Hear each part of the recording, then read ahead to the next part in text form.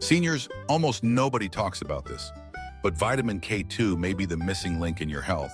It's not vitamin K1 from leafy greens. K2 is what I call the traffic director for calcium. Here's why it matters.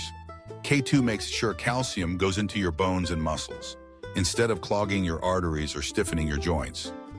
Without enough, calcium ends up in the wrong places, leaving you with weak bones and stiff, achy legs. In a 2021 study, seniors who took K2 daily for eight weeks gained 21% more leg strength and 31% better balance. And K2 works hand in hand with vitamin D3. D3 puts calcium in your blood. K2 drives it into your bones where it belongs. Food sources are rare. Aged cheese, natto, a few meats. That's why most seniors need a supplement. Look for the MK7 form, $100 200 micrograms, taken at night with D3. Together, they support bone repair, muscle recovery, and stronger legs overnight.